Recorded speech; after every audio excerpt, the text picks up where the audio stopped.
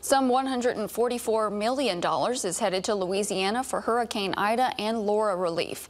11.5 million will go toward the Calcasieu Parish School Board for management costs during Laura. A little over $1 million will also go to the Calcasieu School Board for repairs to LeBleu Settlement Elementary School. The Calcasieu Parish Police Jury receives 2.1 million for the rebuild of the new Epps Library. And there's more than $70 million from several grants for the Jeff Davis Electric Co-op. We've got the breakdown in funding listed at kplctv.com.